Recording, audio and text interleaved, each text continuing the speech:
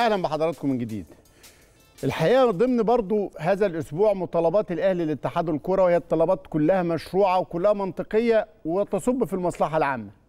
الأهلي بيطالب اتحاد الكره قول لنا بالظبط ميعاد ومكان ونظام وجوائز وطريقة كأس السوبر. وقال النادي الأهلي في خطابه آه، الاستفسار عن موعد ومكان بطولة السوبر المحلي اللي بتقام سنويا.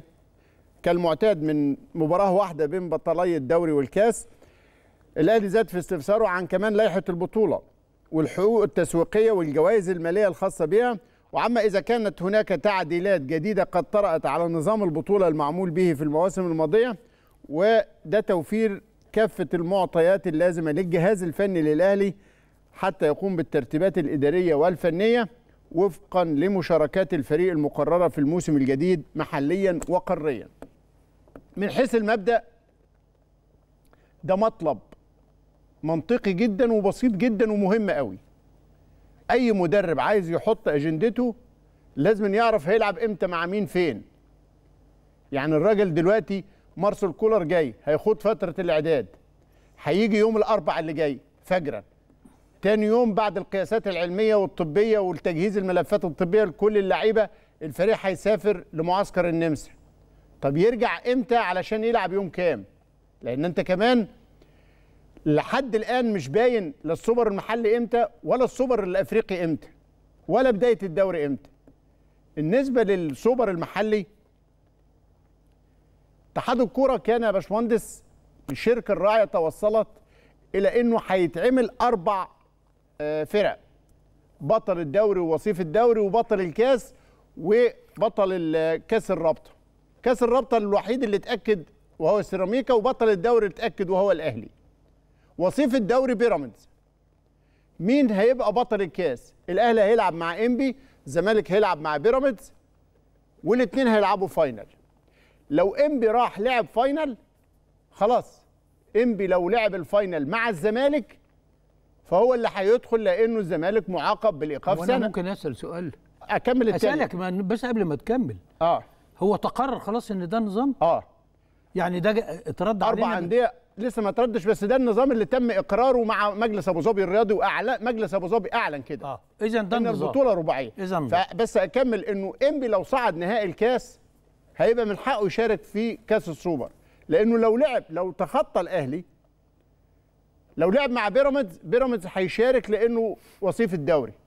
لو لعب final للكاس مع الزمالك هيشارك بدل الزمالك حتى لو الزمالك خد الكاس لأن الزمالك معاقب.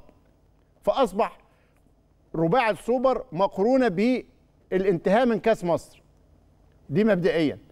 طيب النظام ده هي هي هيحجب بطولة السوبر المعتاده اللي هي بطولة واحدة بس. كان الاتحاد عنده رغبة إنه يعمل الاثنين لما اتقال إنه في تحايل على تغيير النظام عشان الزمالك يشارك النادي الأهلي بعت يعني جواب قبل كده وطلب اللائحة. عشان كده أنا بسأل. لا لا ال- الرباعية دي منتهية. عليا والنبي الرباعية دي منتهية. منتهية؟ آه. بس ما, ما تخليني أعلق واحدة واحدة ما إحنا مش إحنا مش بنقول خبر إحنا آه. إحنا بنحلل دلوقتي موقف. اتفضل. الكلام ده اتقال من مدة. مم. وأنت قلت دلوقتي مربط الفرس. هنلعب القديم ولا مش هنلعب؟ بالنظام القديم. الماتش الواحد ده ولا مش هنلعبه؟ مش هنلعبه. مش هنلعبه. جالنا رد بهذا الكلام؟ آه. ما تردش على الأهلي ما هو هو ما تردش. يا أستاذ إبراهيم ما, ما, ما, ما تردش بنيابة عن الناس أنا عارف.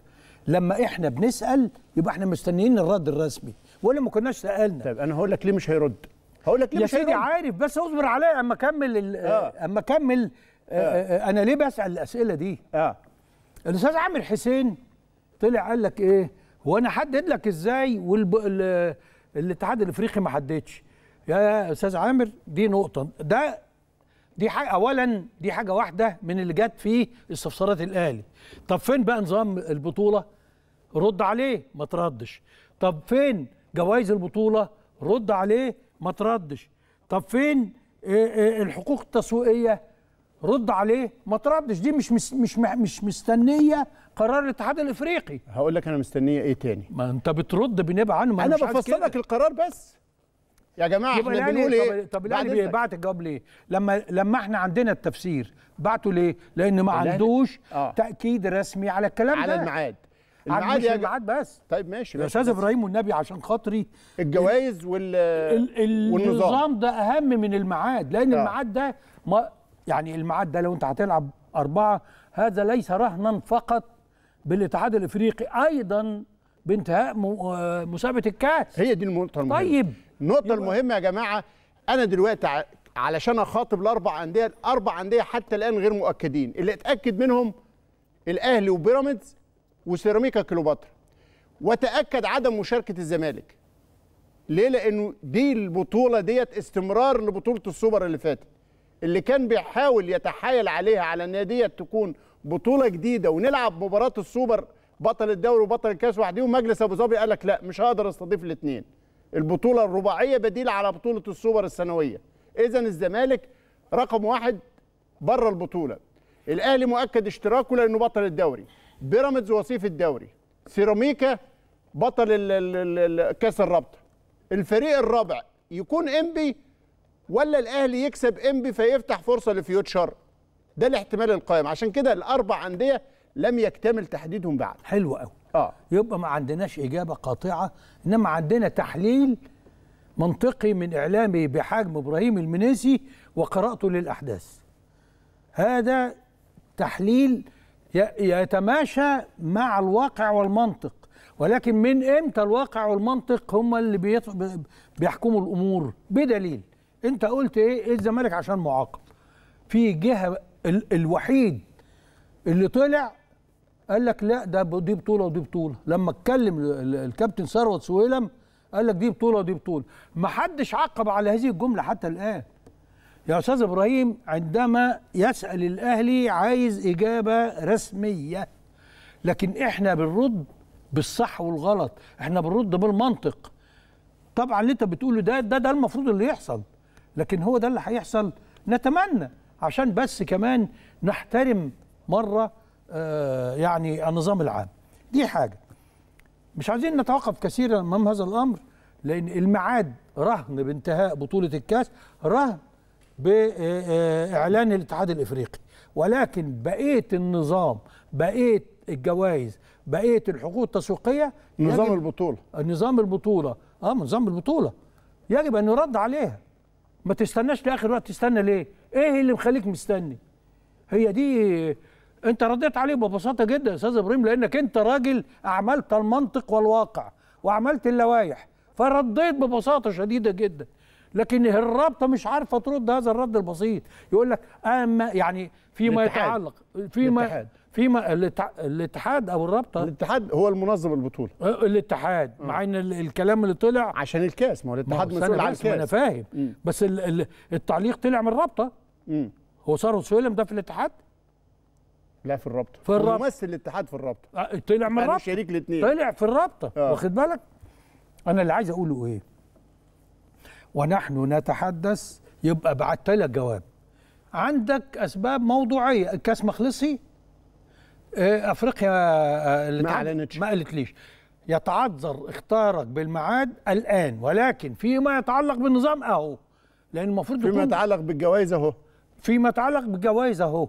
فيما يتعلق بايه بقى بال- المكان. باللائحة إيه؟ ومكانها ان هي في أبو ظبي. في المكان. اذا في ردود كان يجب أن يرد بها ولكن لماذا لا يرد؟ لأن أنا برتاب جدا لما الحاجات المنطقية اللي حضرتك بتتكلم فيها بمنتهى البساطة والثقة لأنك رجل يعني أنت عارف الصح والغلط لكن من متى كان الصح والغلط يحكمون قرارات بص الكرة بص المصرية؟ يا جماعة في النقطة دي كمان في نقطة آه، شكلية لكنها مهمة. هو ليه لما حد بيخاطب حد ما بيردش عليه؟ من حيث المبدأ. إزاي اتحاد الكورة يجي له جواب من أي من النادي الأهلي أو من أي عضو في الجمعية العمومية؟ عدم الرد ده نوع من عدم المسؤولية. مبدئياً. التهرب من المسؤولية. تتهرب من المسؤولية. ما عندكش رد ترده.